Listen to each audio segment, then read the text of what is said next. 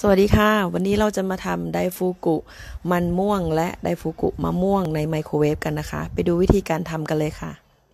แป้งข้าวเหนียว 200 กรัมนะคะ เราจะใช้ตาช่างจิ๋วอันนี้เนาะในการในการช่างนะคะ ตักใส่เข้าไป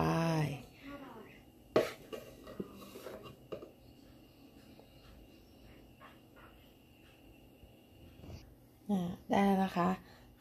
200 กรัมนะคะแป้งข้าวเหนียวนะคะ 200 กรัม แล้วก็น้ำตาลทราย 20 กรัมนะคะช่าง20 กรัมเทรวมกันไปเลยแล้วก็จะมีเกลือนะคะ เกลือเราก็ใส่ประมาณ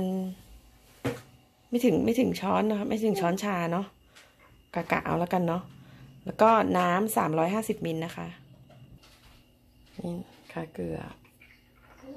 ใส่ไปไม่ต้องเยอะกลัวเค็มค่ะ อันนี้เกลือละเอียดด้วยเนาะ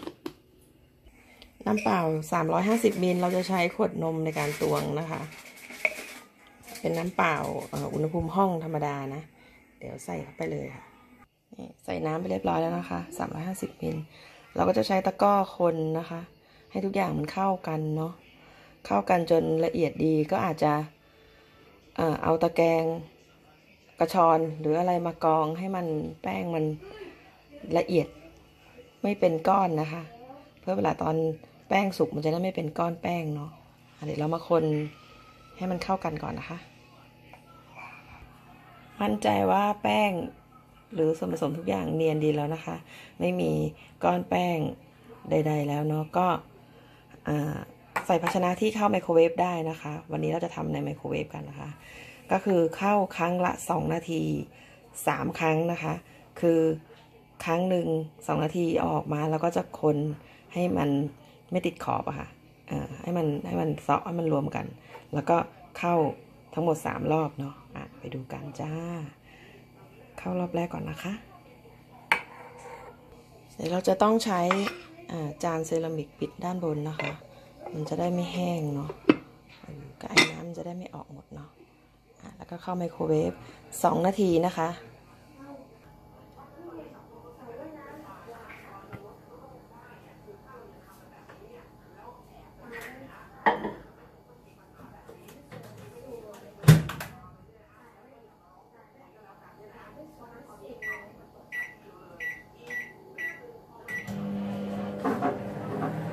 ตรงนี้ระวังด้วยนะคะ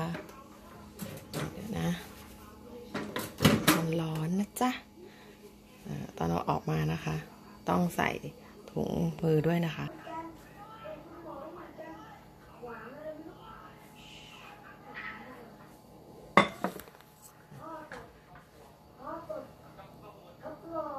มันก็จะเป็นแบบนี้นะคะ สุกบ้างไม่สุกบ้างเนาะแล้วก็จะเอาเนี่ยมาคนเนี่ยเงี้ยเนาะ เห็นไหมตรงขอบขอบเนี่ย มันจะออกเหมือนว่าจะสุกใช่ไหมแต่ว่ามันยังไม่สุก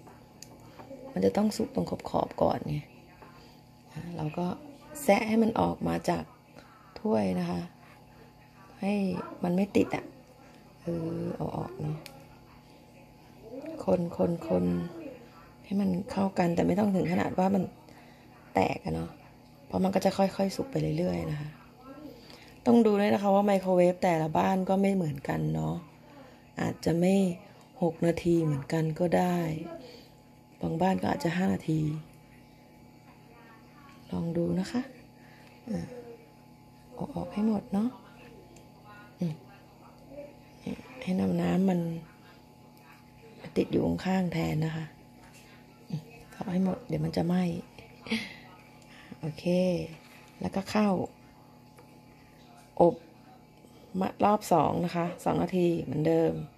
นะตรงข้างล่างตรงตุนะคะ ออกให้หมดสองนาที โอเคมาเจอกัน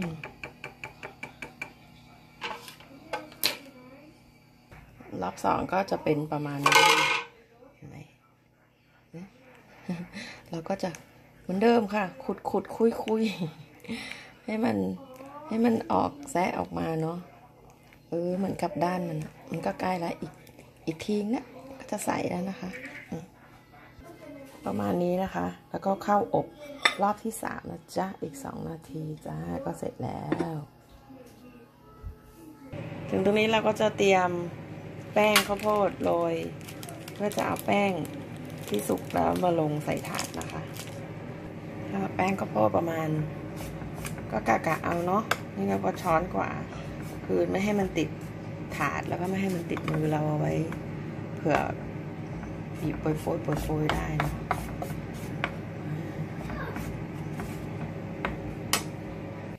นี่มันก็จะใสนะคะ มันจะดูเหมือนเหลืองๆนะเพราะว่า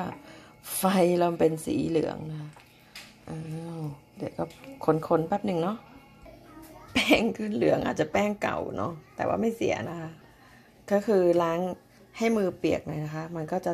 แหมจับไม่ติดเนาะลูกน้อยอุ้ยร้อนนะคะวุ่นวายอยู่ข้างหลังนะคะ ต้องให้มันมือเปียกนิดนึง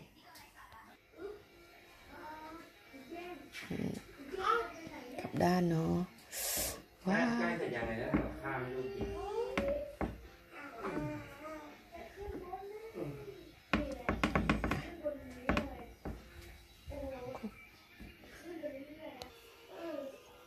ทำการตัดแป้งนะคะ ก็จะให้ข้างในมันเย็นด้วยเนาะร้อนอก็เหนียวเหนียวนะคะครับ ตอนนี้มีมันม่วงเหลืออยู่หนึ่งหัวนะคะมันจะพอไหมอะทำแค่ไหนก็แค่นั้นละกันเนาะก็บีบีก่อน แล้วก็เดี๋ยวจะเอาน้ำตาลทรายใส่นะคะ แล้วก็เอาน้ำ ใส่ไปหน่อยนึงแล้วก็จะเข้าไปโครเวฟนะคะ นี่นะคะ เราใส่น้ำแค่นิดเดียวเพื่อละลายน้ำตาลเนาะเวฟแค่หนึ่งนาทีนะคะ มันก็จะแห้งแล้วเราไปปั้นกันดีกว่า การห่อไส้นะคะ แล้วก็จะเอาอันนี้แป้งนี้นะคะนี่นี่นะคะคลุกคลุกแป้งแล้วก็บีบีนะคะ บีบีบีบีเนาะอันนี้มือแห้งนะคะคลุกกับแป้งข้าวโพดก็บีเนาะตรงไหนรู้สึกเหมือนจะติดมือก็คลุกกับแป้งข้าวโพดเนาะแล้วก็เอาไส้มือเดียวนะคะ วันนี้ขาตั้งไม่มีเนาะ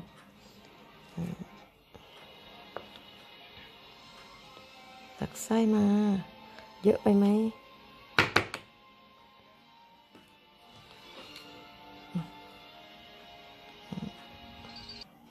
แบบนี้นะคะ แล้วก็จะห่อ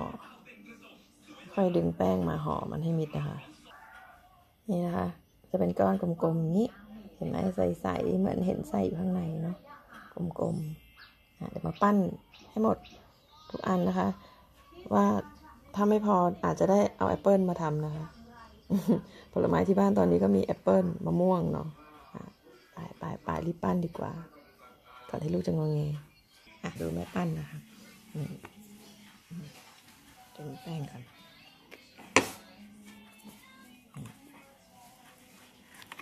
นี่ตักนี่แล้วก็ห่อห่อให้ตรงนี้มันเป็นแบบบางๆ ใช่ไหมแล้วก็แป้งเยอะตรงท้ายก็ตัด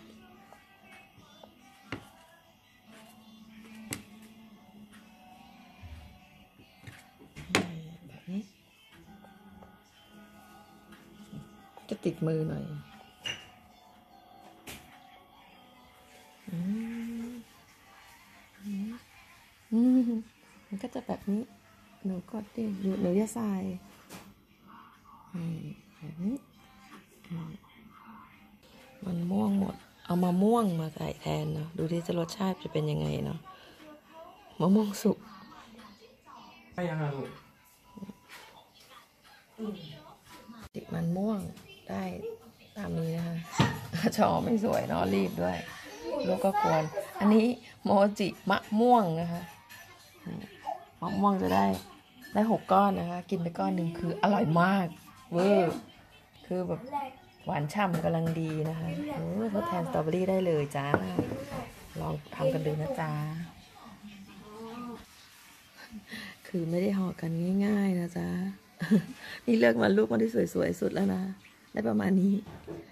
อ่าลองไปทำกินกันดูนะคะอร่อยแบบง่ายๆเนาะวันนี้ก็ไปก่อนนะจ๊ะ บ๊ายบายเห็นไหมเนี่ยเอากิ้งกิ้งเห็นไหมเนาะเห็นไหมเอากิ้งกิ้งโมจิ มันม่วงกับโมจิมะม่วงนะคะเดี๋ยวจะชิมให้ดูเนาะเอาโมจิอันไหนดีโมจิมะม่วงก่อนไว้ติดนิ้ว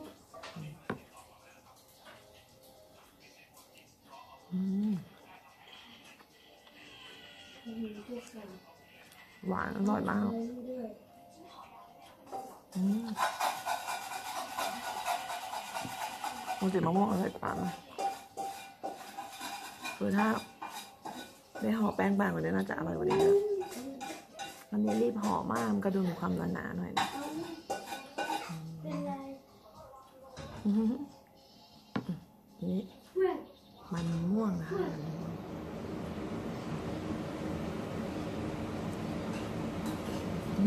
ไส้น้อยไปหน่อยเพราะมันมีอยู่แค่หัวเดียวมันจะอร่อย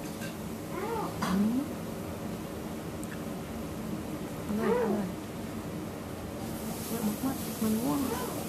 หวานกำลังดีไม่ได้หวานแบบบื้ออืม